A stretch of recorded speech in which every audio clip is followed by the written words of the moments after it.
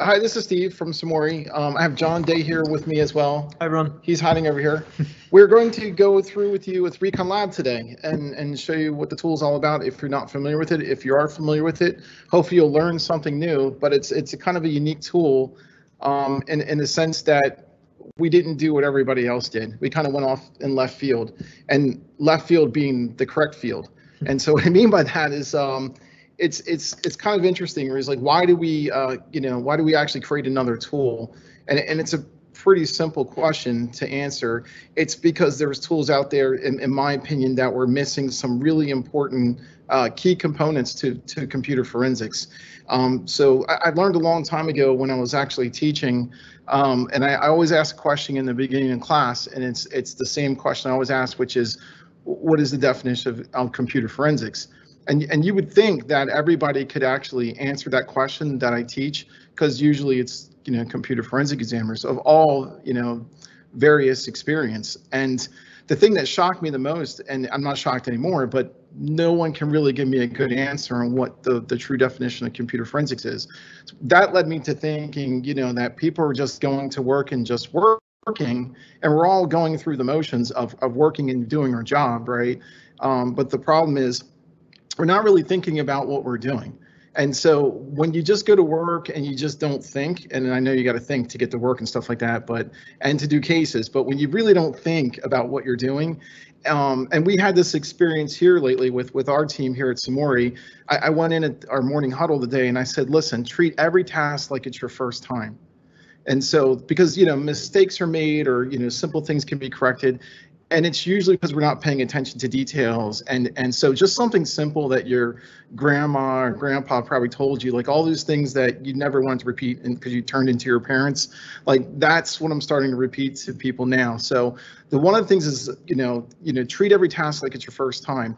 When we started doing that we realized you know with forensic tools that you know we we just went decades without even thinking about what we're doing. And this is like the in, in everybody. So that that's actually um in the forensic field. So we, we had the opportunity or we wanted to actually grow from an imaging tool from Paladin before that, right, into, you know, what my niche was, which is Mac forensics. So just a little bit of background about me.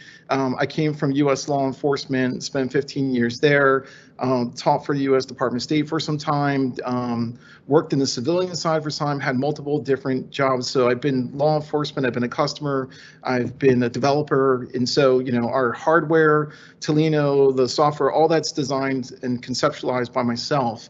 Um, and so what I try to do when I conceptualize something is just take it down to the the bare beginnings, the the bare, you know, just start from scratch. And so this is kind of where things went kind of wonky in the forensics world. So really quick, and then I'll show you the tool and I'll get into it and I'll, and I'll tell you what we did. So we've all become lemmings. and what I mean by that is, again, the part about we just come to work, we don't think, we just do.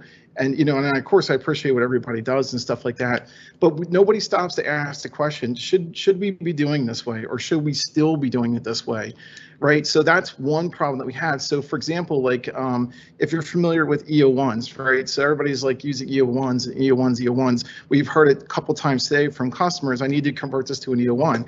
And then we ask them why they don't know the answer. Well, I'm just being asked for it. Well, why are they asking for this? They don't know. They don't know why you're using it. So if you ask the original creator, should you be using E01, he will tell you absolutely not. So the way he defines it is it's a Frankenstein monster that he can't call back. That's the developer's own words. So as you know, there has been enhancements to that, and that's probably what you should be using if you're going to stick with expert witness format. But as you know, people are still asking for E01s, right? So then, you know, the next thing is that I'm going to call it greed. And so, and what I mean by that is, you know, there, if you look at the market share of computers out there, the majority is going to be Windows, and that that's just just a given, right? I, I can't argue with that. So, if you want to make money, where do you code your tools? You you code them for Windows, right? Because it's where the market share is, is where you're going to make the most money. So when money's dictating what you do, um, that can actually cause problems. And then that leads you into the next part of it, you know, of what's been going wrong over the years is the coding. So if you've been, you know, teaching Windows forensics or developing Windows forensics tools, or, you know, you're sticking with Windows, let's just say, and there's nothing wrong with Windows. Windows, every, every tool has its purpose and, you know, it's good and it's bad. So, you know, not bashing Windows, please don't take that because sometimes when Mac frustrates me a lot nowadays. So, um, but anyway, basically these these tools have been over decades been coded to to actually deal with Windows artifacts. Then lo and behold, you know, Mac got popular again. And, and then people are like, well, can you support it? And there's been various support over the year, and I'm just going to say limited support. So that's been sort of the problem. So then when we decided to actually go into a uh, forensic analytical suite, like, you know, our, our flagship, if you want to call it, you know, I, I am lucky in the sense that I, I'm not, you know, um, worried about the money. I'm not worried about the money. Not to say I have a ton of money. It's just, you know, I learned a long time ago that money is not really what's important. It's what you do. So if you if you take the bias out of why you're developing a forensic tool and you just develop it from the ground up, kind of like what we did with the Talino workstation, like how do you just do this the right way, put everything else aside, profit and everything, just do it from the ground up the right way, the best that you can. Then you go to yourself, you ask some simple questions, which is right, you know, like, well, what is the hardest, you know, file system and, and operating system to analyze? And I think most people would argue that would be in Mac file systems and Mac artifacts, right? It, it's very proprietary when it comes to that. So, you know, what's out there that actually can fully support Mac? Well, that's a simple answer. It's Mac. So then if you go down to, you know, can, can Mac support the Windows file system and artifacts? Yes you know, and, and natively, right? Can it support mobile device file systems and artifacts? Yes. Can it uh, support Unix or Linux artifacts? It's based on Unix. The answer is yes, right? Um, can it can Windows support Mac file systems and artifacts natively? The answer is no. So if you look at it from a logical perspective, it only makes sense to actually develop a forensics tool on Mac if you could only pick one, right? So, and hopefully you guys can pick as many as you can afford, right? Or you can get in your hands. So the thing is, is from the perspective of us, we just made logically only the only sense was to actually start with the Mac, and and not because this is something I used since 1989. So we started with the Mac, and then we started building our tools upon that. Now, aside from you know, just using logic to actually support the most amount of um, artifacts and file systems as native as possible. Um, we, we started looking at some other things that we ran into. So things that just weren't even addressed into the, the forensic community or analysis for, for forever, for as long as I've been around doing it, and that's been since 97. So here's the thing we always have a problem. You know, we, we can be the greatest examiner in the world and we can show you what happened. But the one thing we can't talk about much is, you know, um, you know, who did that? What caused it? Was it malware, Trojan, virus? Was the person hacked? That's what they're going to claim, right? Especially when you're dealing with CSAM cases and stuff, right? They're going to be like, yeah, I know you found that stuff on my computer, but, you know, I didn't know it was there. What if I can tell you that you can tell them that they knew it was there? What if I can show you how? What if I can prove it with the tools? Well, that's something we can do. So that's something that we built into Recon Lab, right? The other thing that we did was we made it easier to to actually compare and see the entire picture of a person's you know daily habits and and life so you know like I'm, I'm looking around here right now and if you can kind of see so i'm at my desk on my laptop um, I have a Google Pixel that's over here. I have an iPad that's sitting over here. Behind me, I have a Windows laptop, whatever brand that is, Acer. So I have all these different devices that I've been using throughout the day.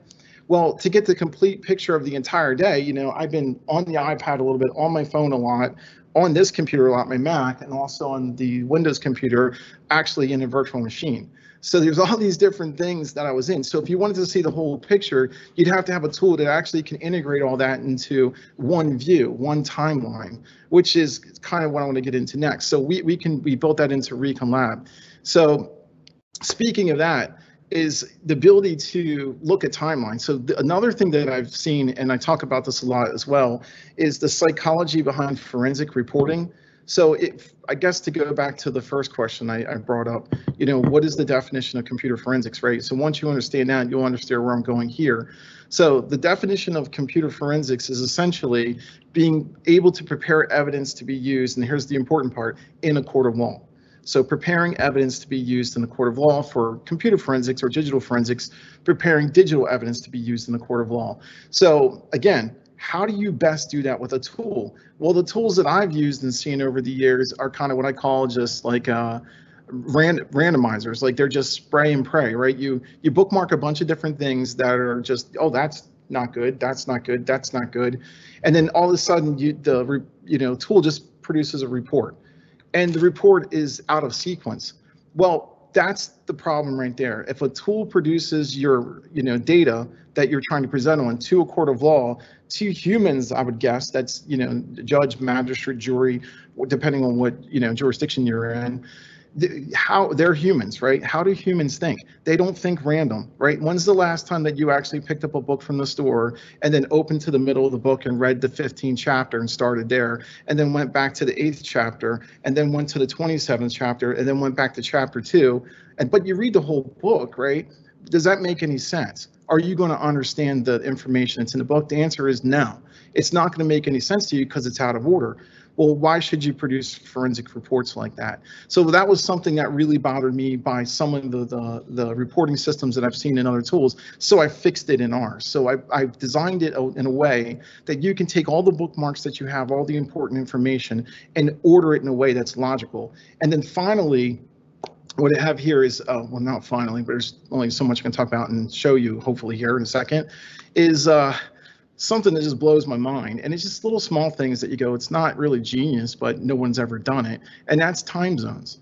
So use an example like me, who when pre-pandemic, right, I, I, was traveling quite frequently, and I would like leave Philadelphia, fly to uh, Frankfurt, from Frankfurt maybe fly to Dubai, from Dubai fly into, you know, Singapore, from Singapore fly back to L.A. and then you know to Chicago, and then back to Philly again, and I do like a worldwide trip how many time zones did I just go through? Well, usually I take my laptop with me, right, my MacBook, and I've probably been through, I don't, I can't even count that high, but probably six or seven time zones in a matter of two weeks or so.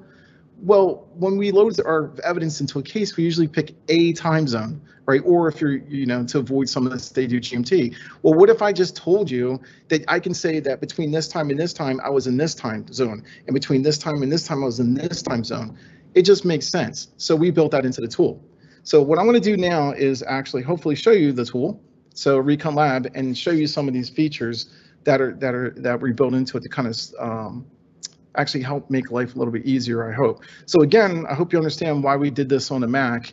Um, and it's you know to make it a little bit easier so we can see as most because again we support more than just Macs here but we started with the hardest first now there's more into the Mac than just um, how do I say this? The you know the standard timestamp. So let me start with that right there, because this is another one that's missed quite often. People don't seem to understand. So you know we can navigate through this just like anything else, right? It's just a normal file system view. All right, but here's the thing that I want to show you here: date modified um, date access, right? Uh, date change, date. I'm sorry, date modified, date change, date access. You guys are in last use date, so you guys are familiar with some of these timestamps. But the ones that most forensics tools miss are these right here, right? Last used date, date added, content creation date, content modification date. These are what I call finder timestamps, and we can see them down here in our detailed pane.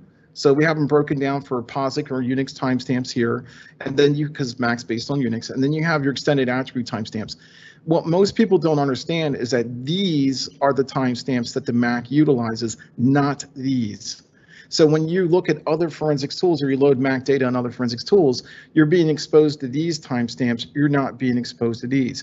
These come from something that's called extended attributes, right? So it's Apple metadata. So you can see right here when I switch over to this view here, there's some timestamps and some other information that's being pulled out, such as like use dates and use counts, right? So those right there are actually different timestamps that are held in a different location. It's not kept with the physical file itself. It's not easily extracted, and anything that's not Mac related or even some Mac tools that were built on other platforms have to reverse engineer this and use um, scripts that are built by professors and universities when they get around to it to actually pull this data instead of just using native libraries. So for me, whether you're doing Windows or you're doing Linux or you're doing a Mac, you know, it's it's better to just go native when you can, you know, to the best of your your ability, right? To just stay native because a Mac can interpret Mac, Windows can interpret Windows, Linux can interpret Linux.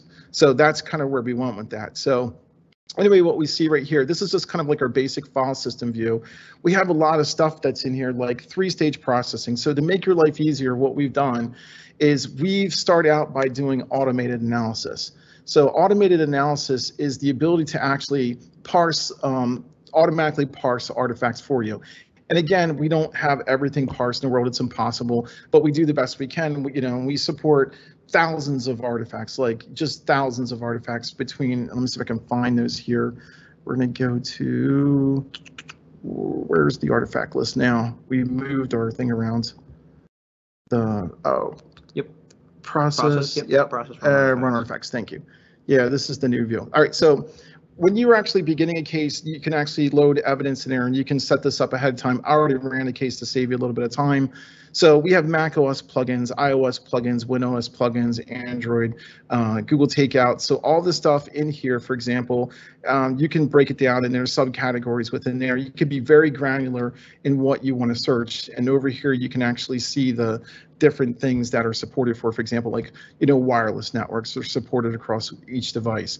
So we do that for you, and then you can run it at any time. And I'll give you a little trick here, but you can see it's broken down here once it runs.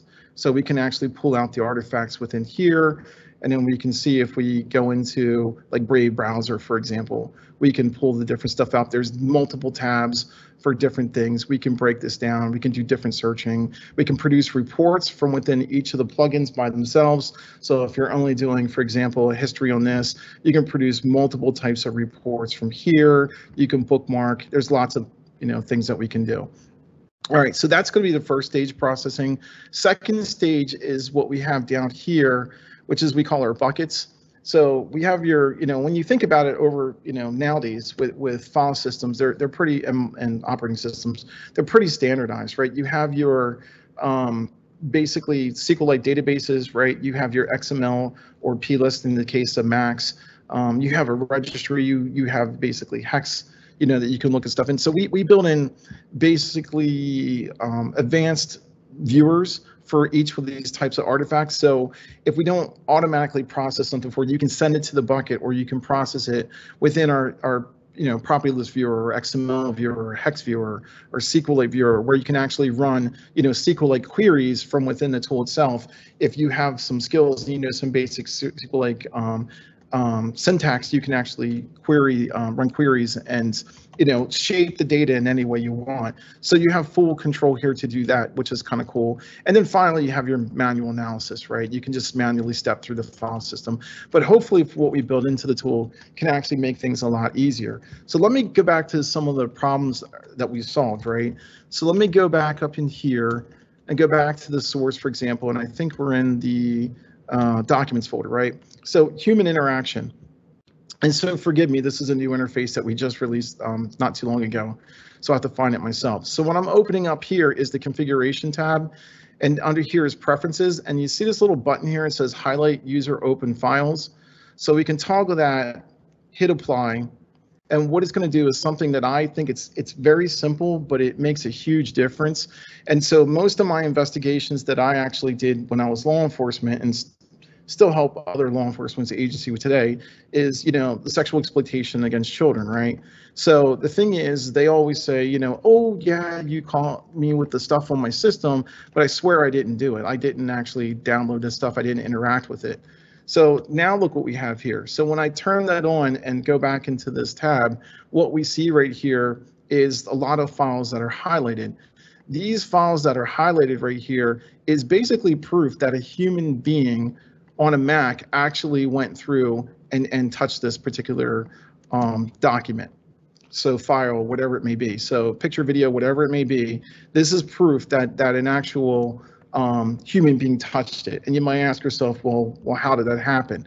Well, it's it's pretty simple. So there's extended attributes that are built into the Mac because of this little guy up here, Spotlight, right?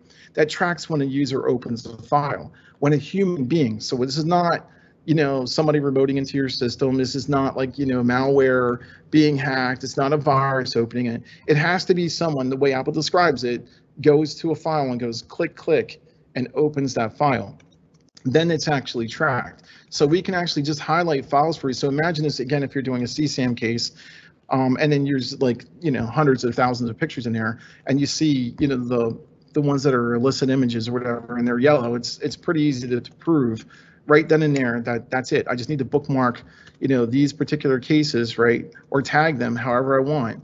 Um, that these are actually the files that are, you know, that are going to be of interest to me, right? So we can do all kinds of stuff.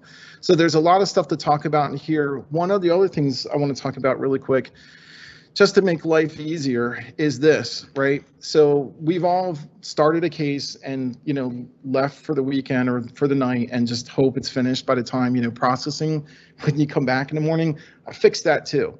So, you know, the Mac is actually very powerful in what it does. So it's a really good machine to work on and have a forensics tool. The other thing that's really nice, for example, if if you know that, you know, like say user accounts are segregated, right? So like I know that, you know, one user can't jump into another user's account typically, right, on, on, a, on a Mac or another file system, it's you know segregated. Then what we can do is we can just run those modules that we want to run just on that local directory, that user, right? So you see right here, we have file system modules that consist of, you know, Apple metadata or EXIF metadata, signature analysis, your hashes. And then we just added a bunch of AI features um, to the tool for this year, um, such as face analysis, you know, optical character recognitions, weapons identifications, um, fire. So like, you know, if you see explosions or think arsons or things like that, or unfortunately terrorism type stuff. And then skin tone detection, which actually I was pretty impressed today by this with our tool. Not to pat ourselves in the back or anything, but you know, there's a lot of this stuff that exists in other tools, but when we implemented it, I'm like, you know, how good is it? Because there's a lot of tweaks that you can do as far as the percentages of skin tone. It, it actually the AI in this is is pretty cool. So let me let me show you that really quick here. So I ran a lot of the stuff already just to go ahead and do it, but for example, skin tone detection.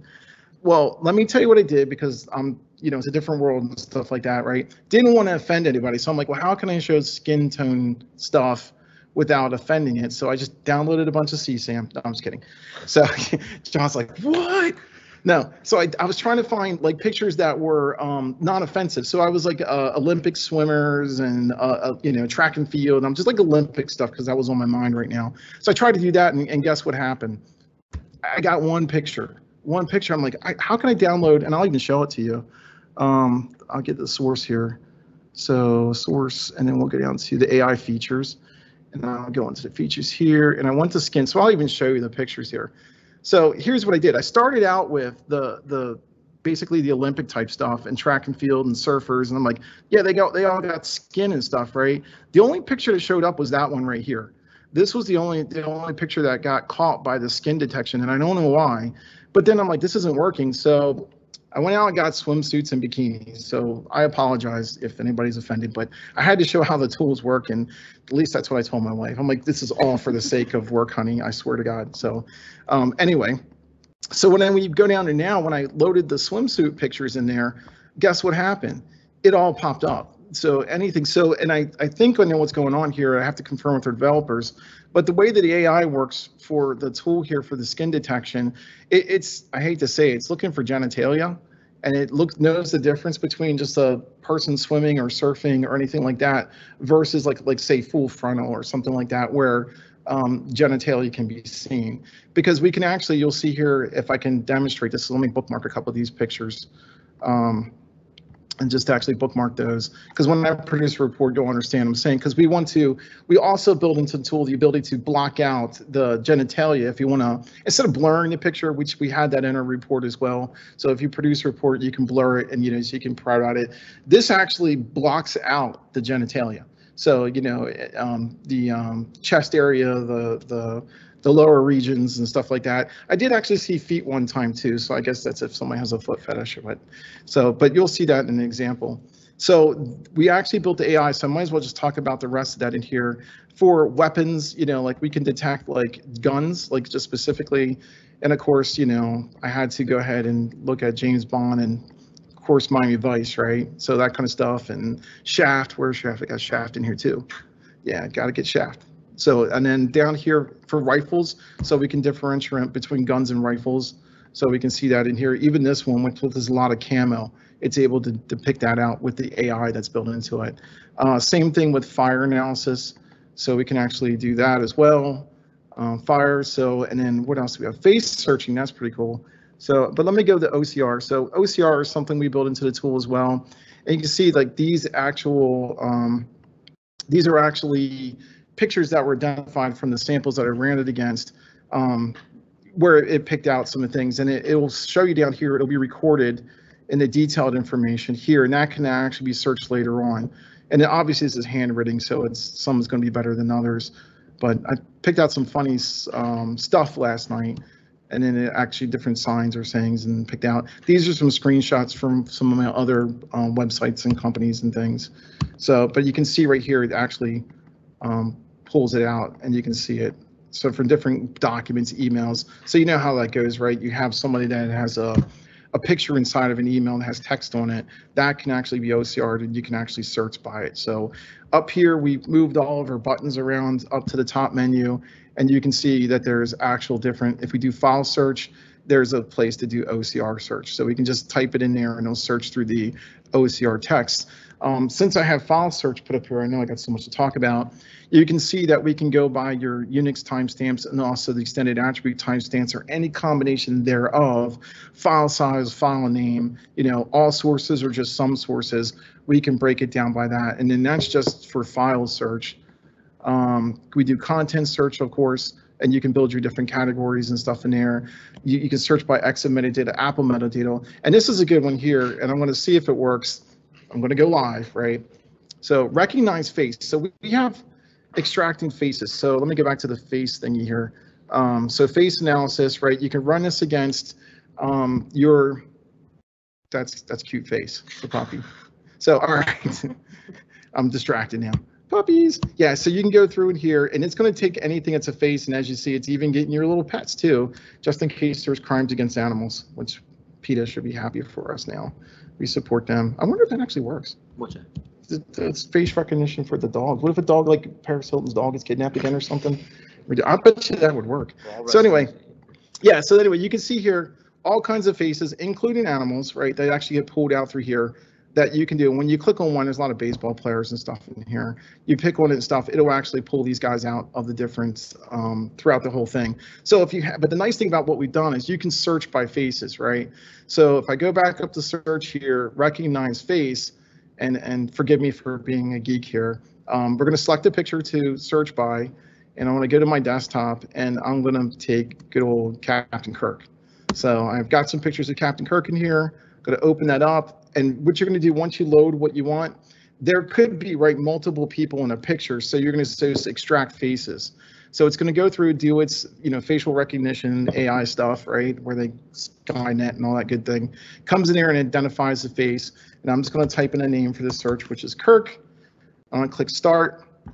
It's going to do its old good old AI thing, and it's going to run it against the database of faces that we just did. And eventually, it's going to go ding, and well, it doesn't go ding, but it's going to go ding in my head, and then it's going to give us a result. So we're going to let that sit there and run. Um, and then what will happen in here in a second is down here, you're going to see a face search. So I've already done this for Picard. Now you see Kirk shows up. It says it's got three hits and I double click on that. And out of all the stuff there, we now see again that we got Captain Kirk, even with his perm days from back in the good, the good old days. God. Yeah, so pretty cool, right? So it's if you got an image that you're trying to see if it exists amongst many faces that are actually in it. Uh, think I'm thinking organized crime, you know, intelligent type stuff. It's pretty cool. So we can pull these out. So I did it for Picard as well for the search.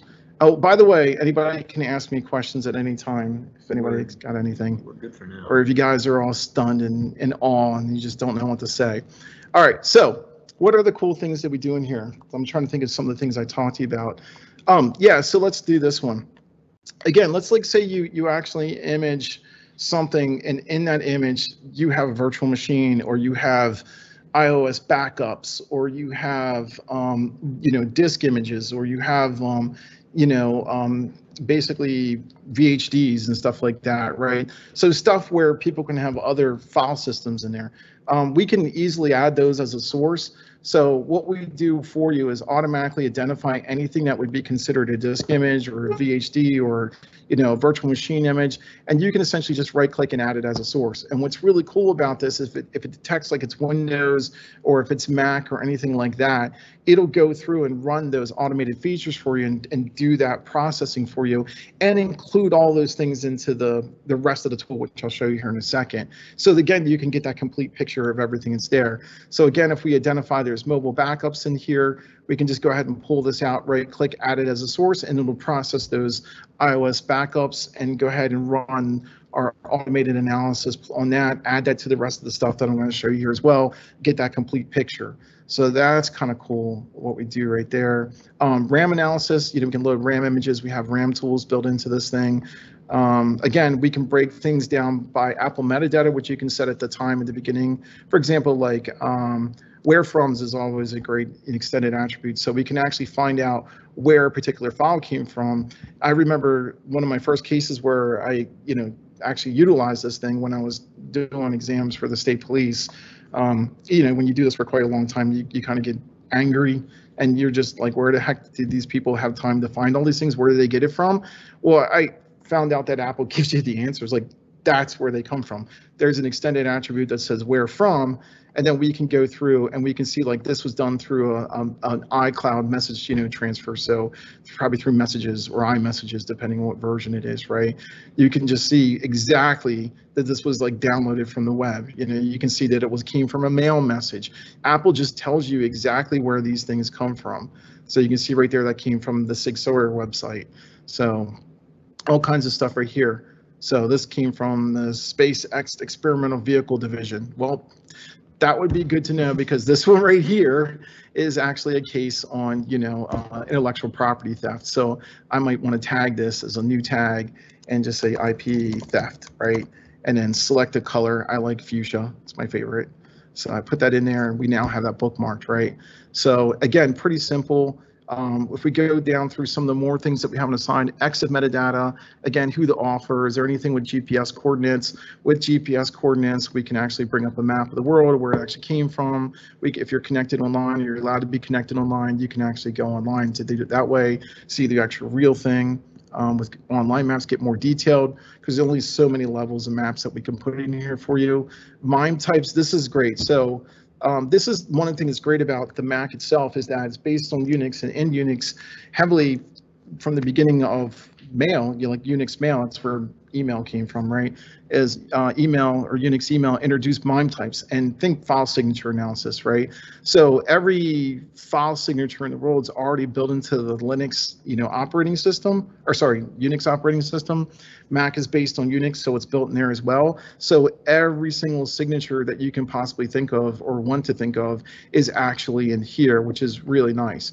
So we can just go ahead and select, you know, really quickly anything we want um, to search by. You know, image formats, you know, we can actually really quickly go through and identify different, you know, image formats and, you know, go switch to the gallery view and see that stuff as well. So pretty, pretty quick through the uh, file signature stuff.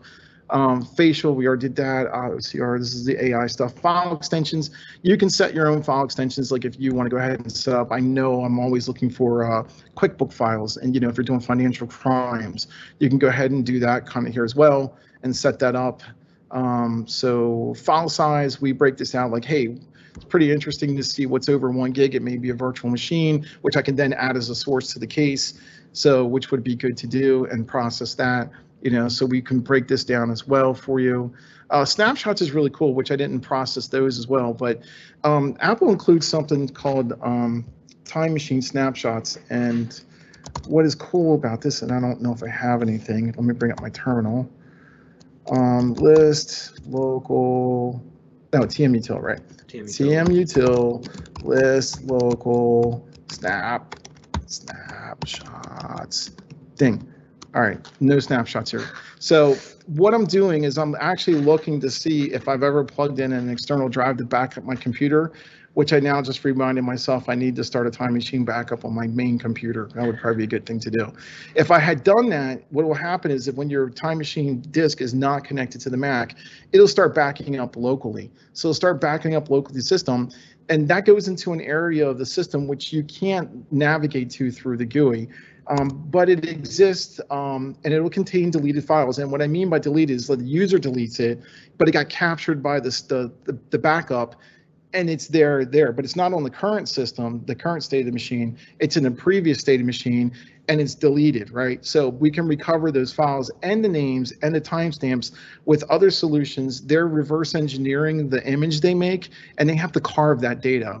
So, you know, when they say they can carve APFS and pull stuff out, they what they really mean, I believe, is going through and pulling out those uh, local time machine snapshots um, and pulling out the things there. With our solution and using native solutions, um, you can actually get the, the dates and times because the things you're only caring about are the files that are modified or deleted from the system. That's what we do. It's kind of more complicated than it seems, right? There's actually rocket science that goes into this. And what I mean by that is you're going to do a differential analysis on the different states and snapshots from the current state of the, of the machine versus the old states of machine and only do the, the files that have changed and modified, I'm sorry, changed or deleted. So those are what we pull out for you in snapshots. Um, of course, we support hash sets and stuff in here if you're wanting to about that. So we see Project Vic versions here. We just do standard SQLite. We like to go simple and CSVs so we can keep it keep it simple, stupid kind of thing. Yes, we can carve files and data from files. So um, think like your open source tools for just like a Scalpel or bulk extractor or you know, different things that can pull out information like uh, credit card numbers and URLs and email addresses and all those fun things too, right? So you can create your own databases, your own hash sets. You can mark things as seen and unseen, which is kind of cool because I know as I go through stuff, I'm just like, I don't want to see that anymore. I've already seen it and I just want to clear something out. You can send things to a bucket. So there's where your plist viewers, hex viewers, SQLite viewers, or registry viewers come in. Um, you can go to the source, like where does this actually, it'll take you straight to where it belongs. You can add a note or remove notes. Oh, speaking of that, yeah, we got a new button, right? This one, my examiner space. This is kind of simple and cool, right? You just go ahead and I'm gonna put use UTC in there, add a timestamp, right? And begin taking notes, blah, blah, blah, blah, blah, blah, blah. Go down to the next one. I did something else, blah, blah, blah, blah, blah, blah, blah. So you can actually export this to a report as well. So you have your case notes there. Um, so to do it, that's kind of, or you can just do a simple to-do list. So we can add a different task in here. We can check things off as we go along, like remember to beat the hell out of the suspect when we get done with the case, like that kind of thing, the things that are important. So our email file analysis, we can do that kind of stuff as well. And here you can see the different accounts. Um, we can go in here and we can pull out and see the attachments or we can see the data raw. So you can see the headers, you can see the message and stuff in here. Um, oh, these are your automated analysis artifacts, which is goes on forever and ever and ever and ever and ever. So like there's all your messages. Um, get back to detailed information and how much time we got. Okay. All right, got 20 minutes. All right, so since we got all these different artifacts in here that we can put from like USB logs and different things, there's also, um, wow, see these are all your USB serial numbers and vendor IDs. Um, we do do some stuff which is kind of neat, like um, file system events and quarantine events. So even if somebody has like basically erased their um, internet history, this is typically one of the artifacts that doesn't get erased with that. Knowledge C database stuff, right? That's one of the cool things. That can be annoying because it's a lot of information and it's, you know, you got to go through it and pick out what's relevant, but it's helpful, right? You know, it's kind of stuff like, you know, did the display wake up or something like that? Did something change with the, you know, the hardware? So there's a lot of things that we pull out of there. File system events, which I can't find. So I'm going to use this nifty feature up here and type FS events. That one I'm not going to click because it's, what is it, six, almost 700,000 events. Great, great, great tool. This is like when people go, how do I know what happened on a system or how can I prove a file was there or deleted or modified? I had one case um, that I did, I don't know, not too much, not too long ago, but it was really simple. I cherry pick cases just to stay relevant and all. And it was a guy from um, local big city that basically was like they had a terminated employee, but they didn't walk the employee out right away. they left her there at her desk for three hours. And what happened was she's like, I'm going to have fun, and started deleting a whole bunch of you know intellectual property. And then when it came time for her severance pay, the company's like, now you're not getting a severance pay. You destroyed all of her data. And she's like, well, you owe it to me, and then I didn't destroy any data. So they hired us to basically go, can you tell us what happened in the last three hours when we told her? I'm like, gosh, I found out through FS events. She just sat there and deleted, deleted, deleted, deleted stuff. And you can see all that cool things with file system events. What, what's really great, Someone's got a quick question about Oh. machine snapshots. So they're saying, uh, is, uh, did you say that I can find out where backup exists by looking at the snapshots feature? oh yeah, so what we can do with, depending on, that's depending on how it's imaged, right? So um, we have another tool, right, Recon ITR, which uses native, we use all native technologies to do our imaging. We super highly kind of um, recommend that you stick to native formats that we do, not your AFF4s, which have been bastardized over the years, not your E01s, of course. You know, we have the ability to do some of that stuff, but we don't recommend it. If you're going to stay within the Mac environment, you won't lose data. You'll get to see metadata, and you can process time machine snapshots if they exist. So we had the ability to actually, you know, if you right click on a source, you'll see if it's available, snapshots will pop up here, and then you can process them, and then it'll show up in that category. So hopefully that'll actually help you out, answer your question. If not, just let me know. All right, so lost my train of thought. Oh, down here, we do these cool things down here, which is uh, redefined results, just some simple things, right? Like messenger stuff, like who's this person talking to and when are they talking to? So you can see right there, and oh, this is this has got me in trouble many times. So this is kind of a breakdown of, of an account, a phone number, whatever it may be. You click on it, and there could be multiple ones in here, and it tells you who you're talking to a certain percentage of time. What I'm saying this has got me in trouble many times is when I'm testing it and I'm running my own data against it, my CEO has way more messages than my wife does, and she's like, hmm, uh-huh, yep, okay. So anyway, if you double click on it, you can actually see the message that are in there in the timeline. You can do it as a daily view and stuff like that as a graph view. We can go down to literally like, you know, down to days or hours if you want to see who they were talking to and when and just hover over it and tell you, you can export this. Again, you can do all kinds of crazy stuff in here.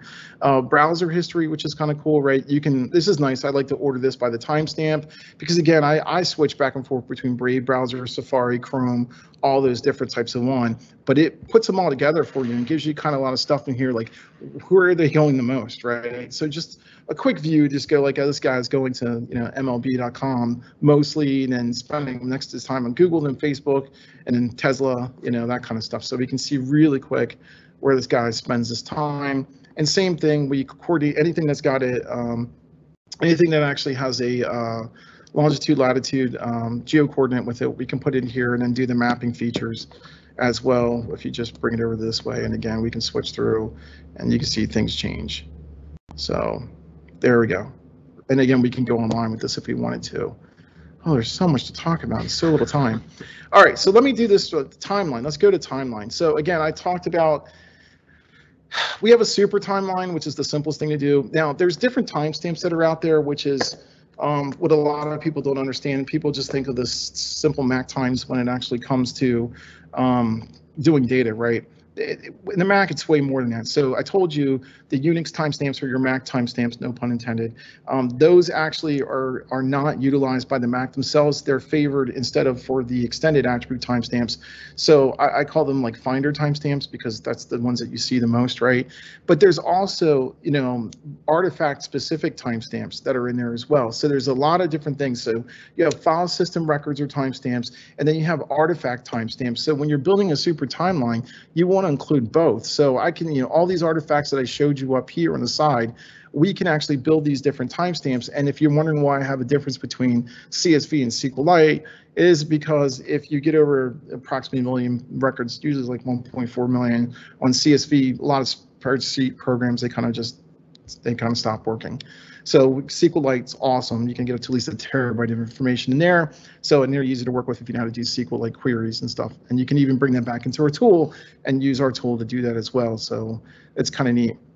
But the other timeline thing, which is really, really, really, really cool, is the artifacts timeline. And then this is how this this is a game changer. If I can make it work, there we go. So I unchecked file system events because I told you there's like 700,000 events in there, right?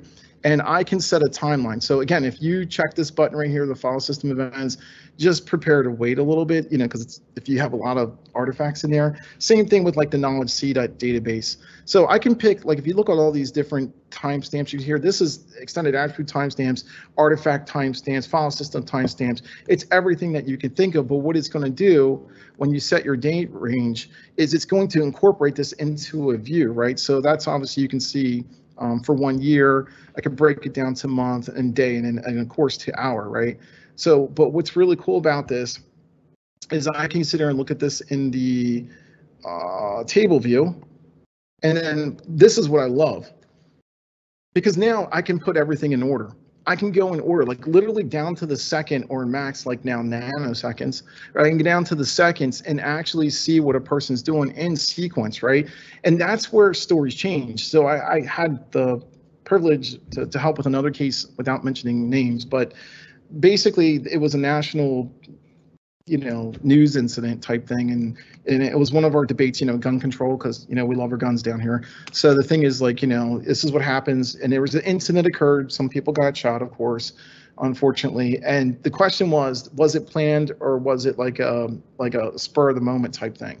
So, you know, the outcome, you know, would have a great impact on gun control for the the gun lovers and the gun haters, right? So everybody wanted to know the outcome of this particular uh, question, the the agency that was doing it was using traditional tools, and what they did was is they did the normal thing. Well, wow, he's purchasing a lot of stuff from there, and ooh, wow, look at how many websites he went to for guns, and then wow, yep, this guy planned it, right? Luckily for them, they said, "Can you take a look at it and you just see, make sure we're we're we're doing the right thing, like have a second set of eyes look at it." Well, through an episode of The Walking Dead, we just let our tools run and put it through here, and then we could actually see in sequence, you know, when this guy went to a website, when this guy scheduled calendar events, when this guy was talking to someone, when he was sending emails in logical sequence, like when you pick up a book and you start at the beginning and you read your way to the end, it makes more sense. When you read it that way, you look at the data that way in logical sequence, right? You can actually see that this guy did not plan it. It was a trigger event. It's a long, sad story, but it involves PSTD and stuff like that. But anyway, the thing was, um, you can see in, in order of events what occurred and that this guy didn't plan it. It was just something triggered him and then he went off and did what he did. So, um, you know, at least we were able to get to the truth and be unbiased about it. But again, just think of how many times if you're if you're not putting things in proper sequence or proper context in order, you're required to actually make um, you, you know the courts are relying on you or the you know your your people are relying on you to give an accurate opinion based as an expert on what you found. But if you don't put it in the proper sequence how can you even you, how can you even do that so, you know, I, of course, it's going to be case by case and stuff, but we can see right here exactly like what this guy is doing, like in sequence. Like this guy opened Brave browser and he checked his mail. Then he went to Google and he searched here because these are like last visit dates. We can see a lot of things being triggered, you know, basically from the knowledge C database. Then you see a bunch of stuff from his iCloud logs. So he's accessing these accounts right here. And then we can just go on down. You can see right here he's connected to, right, or updated to um, an actual um, SSID through here in his router, and we can keep on going down. And you can see in sequence exactly what happened. And there's even stuff in here like wake times, which I love, right? Because that comes from the logs and stuff too, where a person, you know, if they have a laptop, you can wake up the system by doing different things that requires a human to do it. And so anyway, we can tell, you know, when a person woke up the system, because a lot of times people claim, well, that wasn't me, right? Well, then who came into your house at this particular time of the day or night and opened the lid of your computer and then started accessing your internet? Who was it if it wasn't you? And why does it keep happening every night at 12, 15 after midnight? You know, that kind of stuff when everybody's sleeping in the house, like that kind of thing. So this is a really good thing and it can be exported and looked at. Um, very cool though. It's very, very cool option that we have here. Let me see if I can, oh, time zones. Let me show you that one really quick. So back here in the preferences stuff here, again, just something really simple to do. We're going to add a time zone between this time and this time we were in this particular time zone. You know, between this time and this time, we were in another time zone. And we can apply that against the case so that you're not just stuck with GMT or you're not just stuck with one particular time zone. Because even where I live in the wonderful tropical world of Delaware, with hence the palm tree behind me, right? Um, it, we have daylight savings time down here. So hopefully that'll happen soon but it'll switch over um, to daylight so even if you're standing still in the same place the time zones are going to switch you have two time zones to contend with, you know, if the computer's been up for at least six months or so. So that has to happen. So we're all doing it wrong that way too, but at least we built into here now that you have the ability to do this as well. Um, some other things while we're in here, you can actually load external applications, send things out to different things there. This is where you would configure all your different, you know, keywords. Uh, we could do uh, blacklisting, whitelisting, all that stuff that you would expect in a tool can be done here. Um, volatility, that's what we use for a RAM analysis. So if you have volatility, you can go ahead and point it to that and it'll do it for you. You have to do the downloading configuration of volatility, um, obviously for certain reasons. Um, wow, any questions? I covered a lot. Did I miss anything? Not anything major, no. Um, Um, storyboard reporting maybe? Oh, yeah, oh, yeah, on geez, that's the big major one. Oh, yeah, the storyboard thing. Thank you, John. See, he's younger. All right, so where is this? Uh, it's here right now. So up here where our report buttons are. All right, yeah, yeah, we were the first to include a WYSIWYG editor into into a forensic tool. Minor footnote. Yeah, just minor footnote. Just you know, I'm just cool like that. So all right, so I just type in a report. So let me see if I can hide the genitalia. That's pretty cool. So I'm going to create a report here. So WYSIWYG editor, right? So what you see is what you get. Um, this is kind of cool, right? So again, here, if you uh, want to change anything, you can. You know, if that's not important to you, you can delete it. If something else is important to you, like you know, say you can't find the smoking bun, you can just add it, and you can get them arrested and prosecuted. It just works really great. But up here what you can have is all your different bookmarks, as you can see. Um, and it's kind of neat. You can just right click on this and add record to the case or add record with files really quick. It just drops into the report. And again, this can all be adjusted, you know, in your configuration however you want. But all the information that you could want is there. And this obviously can be exported in different ways and stuff like that. We can save this out um, to different views and stuff that you can produce the report. Um, you can also import stuff into it so you can add reports from other stuff into here as well. So you can do your whole report in here if you want to. But the really cool thing in here is aside from this right here, let me get rid of that, is the part about, um, let me just do the skin tone one first. Let me see if I can go to that one. All right, so this is what's identified by skin tone. Let me take a couple of these things in here, just a couple pictures, and then see where it says blur image. We can still do the blur image. That's what we started with. And let me see if this works. We're going to censor skin tone tagged images. And so when I right click and add records with files to reports, and if everything works the way I hope, I love the spinning beach ball, um, it should add those images to the report and cover up anything. Oh, it did. Cover up anything that that would be identifying to a person. So like their face, of course. So their face you can see here has been blacked out. And then anything with genitalia and well, they got one side, not the other side. So they got anything they started covering up here that could potentially show something. So I guess it works pretty well. It's like so you can see even for like bikinis and things like that, it's oh that's why the face there and in the armpit. That's that's good. Yeah, that's really bad looking. All right, so yeah, so anyway, the AI, not me, actually goes and decides what is what you probably shouldn't see and stuff. So it works pretty good. I mean, it's more overcautious as you can see than it is like under stuff. So like, you know, I've like I said, I, I was joking around like, wow, that person's feet are just too, you know, it's too amazing. They had to cover it up. So, but then, okay, back past the skin tone and blocking stuff before I get myself in trouble. All right, so there's a bunch of other things in here, but one of the things that's really cool is this right here. This button is for timeline. So what it happens, it does, it takes all your bookmarks and you can order them in there by, um, by sequentially. So what you did now is you just took everything that you thought was important in the case, right? And now you can put it in your report in the proper order. And I know this is a lot of stuff in here, so I'm just going to take a bunch of uh, examples here um, because a lot of timestamps are in here and you can filter those out. But I'm just taking a bunch of stuff. So I can add these now um, into the report in sequence. And so when you give the report to someone, it's like this happened first, this happened second, this happened third. So it makes it a lot easier to go ahead and um, make sense out of what you found. And then again, it's just, it just makes sense to me to do it that way. Again, I, I know I'm a weird bird, so. Any questions? Nothing's popped up yet. Anybody still there? There? I have a, I have a question, actually. Sure. So with regards to the picture blocking and picture blurring, does it note in the report that the software has automatically done that so that the reader of the report doesn't just assume that that was the original source photo? No, actually it doesn't, but that's a, that's a good point. So the, the, these AI features that you're seeing that are in here now that we're showing literally just came out this year. So, and this year's new. So, but that is something I can definitely write down that we can annotate that that was, um, that was blocked out intentionally. Okay, thank you. Yeah, that, that's a good, that's a good point. Any, any other questions? I was gonna say, in the meantime, you can just add it to the report yourself. Yeah, yeah, yeah. Good John's thing like- about a good editor. Yeah, this is like do it yourself. There you go. Add it yourself. Blocked out by, you know, AI. So. Any other questions? Any comments? Any suggestions? Rude remarks. Yeah, rude remarks, insults, anything, hmm. anything. Okay, well, if there's nothing, um, it's Dave Burton now jumping in. I'm with Teel Tech Canada. Um, fantastic presentation. I really liked the uh, the time zone feature.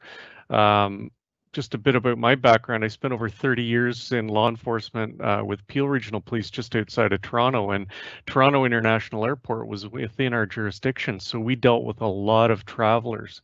And uh, a feature like that would be uh, very helpful because trying to put a timeline together without a feature like that can be quite cumbersome when you have a traveler coming in that's committed offenses through multiple jurisdictions and multiple time zones. Uh, very interesting feature and the reporting feature, I love that as well. Um, I find a lot of the tools, it's very cumbersome how you uh, ultimately get your report out. Um, that seems to be a very intuitive uh, very powerful way to prepare your report. Um, just want to thank you, Steve. I have a fantastic presentation. Obviously, this tool is very robust and needs a lot more uh, time and uh, explanation. Um, I'm sure we can uh, we can uh, you know have further sessions in the future if there's if there's interest. Uh, but I do want to mention that uh, Teel is hosting some uh, Macintosh forensics training coming up. Uh, if you want to take your your Macintosh forensic examination skills to the next level, uh, we are running uh, a course, a 101 course and a 102 course. So the 101 course uh, is designed for both beginner and advanced Mac examiners. And sorry, the 201 course is uh, more for uh, advanced uh, Macintosh forensic examiners. And these courses, the 101 course will be running October 30th to November 4th at our Toronto location, which is actually in Vaughan, if you've been to our classroom there. And the 201 course is uh, running December 5th to December 9th of this year, same location in Toronto. And both of these courses are recommended for SUMURI's uh, Certified Forensic Mac Examiner certification program that uh, you could then, once you take these courses, go on and become a certified forensic Mac examiner. Um, I know from my experience uh, working with Peel, you know, 15 years, I was 19 years in their digital forensics unit. 15 years ago, we rarely seen a Mac. Um, when I left, I retired in 2020. Um, we were seeing them on a weekly, if not a daily basis. There was a, a, a Mac Mini or uh, an iMac or some uh, device walking through the door, um, and always a challenge to examine. So, um, would highly recommend if you're seeing the same trends that uh, that you would seek out this training and and maybe the certification. Yeah, and the one really key uh, component to that, it's all vendor neutral. It's completely vendor neutral. Absolutely. Absolutely. Good point. So if there's any other questions, uh, now's the time. You can unmute yourself and ask directly or throw it up in the chat and we will grab it. If not, we thank you for your time. Steve, I don't know if you have anything else that you'd like to say before we close this off. Only as as I would say to everybody, I hope everybody stays safe and healthy, and and thank you for the opportunity to to talk to you guys. Absolutely. And thank you very much from Teel Tech. Same thing. Um, stay safe and healthy, and uh, we will let you know if there's anything like this in the future coming up. Just, just one more thing before we um, split. Someone's asking if there's going to be a recorded version for later viewing. Ange, maybe you can jump in on that. Hi there. Yeah, we'll be putting it up on our YouTube channel probably in the next two, few days or so. Sweet. Cool. Wonderful. Okay, well, if there's nothing else, thank you, Steve. Thank you, John. And uh, hope to talk to you again soon in the future and maybe see some of the participants out at the 101 and 201 training. All right, thank you guys. Take care. Have a good Thank one. you. Bye bye. Bye now.